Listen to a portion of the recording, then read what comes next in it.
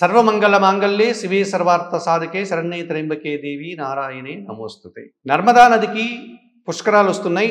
ఈ పుష్కర సమయంలో ఆ నదిలో పుష్కర స్థానం ఆచరించడం వల్ల పుణ్యఫలాలను పొందగలుగుతారు.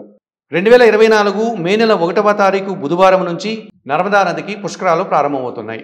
రెండు వేల ఇరవై నాలుగు మే నెల పన్నెండవ తారీఖు ఆదివారం వరకు పన్నెండు రోజులు ఈ పుష్కరాలు ఉంటాయి. గురువు ఒక్కొక్క రాశిలోనికి ప్రవేశించినప్పుడల్లా ఒక్కొక్క నదికి పుష్కరాలు వస్తూ ఉంటాయి. ఇప్పుడు వృషభ రాశిలోనికి గురువు రావడం వల్ల నర్మదా నదికి పుష్కరాలు రావడం జరిగింది. అనగా ఈ నర్మదా నదికి తిరిగి పన్నెండు సంవత్సరములకు మరీ పుష్కర సమయం ఆసన్నమవుతుంది. ఈ పుష్కర స్నానం చేసేటువంటి సందర్భంలో పుష్కరుడు అన్నటువంటి దేవత అందులోనికి ప్రవేశించడం ముక్కోటి దేవతలు ఆ నదిలోనికి ప్రవేశించడం వల్ల విశేష పుణ్యఫలాలు ఆ నదికి సంక్రమిస్తాయి. అటువంటి పుణ్యఫలాలను అందించేటువంటి పుష్కర నదిలో మనం స్నానం ఆచరిస్తే మనం కూడా విశేషమైనటువంటి పుణ్యఫలాలను పొందవచ్చు.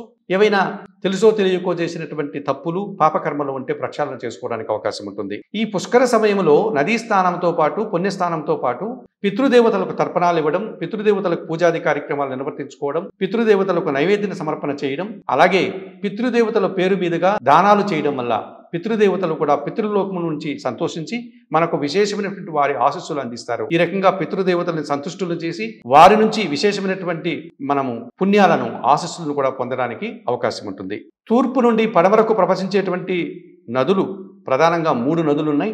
ఇందులో మొదటిది నర్మదా రెండవది తపతి మూడవది మహీ నది. వీటిని నదులు అనకుండా నదాలు అని కూడా పిలిచేటువంటి సాంప్రదాయం ఉంది. ఈ నర్మదా నదం లేక నర్మదా నదికి ఇప్పుడు పుష్కరాలు రావడం జరిగింది. ఇది అమరకంటకంలో జన్మించి ఈ నది అది ప్రవహిస్తూ సముద్రంలో కలుస్తుంది. ఈ అమరకంటకం మధ్యప్రదేశ్ ప్రాంతంలో ఉంటుంది. అమరకంటక ఆలయం సమీపంలో గాని ద్వాదశ జ్యోతిర్లింగాల్లో ఐదవ ద్వాదశ జ్యోతిర్లింగమైనటువంటి ఓంకారేశ్వర ద్వాదశ జ్యోతిర్లింగ క్షేత్రం కూడా నర్మదా నది ప్రాంతంలోనే ఉంటుంది. ఈ రెండు ఆలయాల సమీపాల్లో కూడా ఈ నదీ ఘాట్ల దగ్గర వీరు స్నానం పుష్కర స్నానం ఆచరించుకోవడానికి అవకాశం ఉంటుంది. అలహాబాద్కు కానీ ఇండోర్కి కానీ వెళ్ళి అక్కడ నుంచి ఈ నర్మదా నది ఈ పుష్కర స్నానం ఆచరించుకోవడానికి భక్తులకి అవకాశం కనిపిస్తుంది.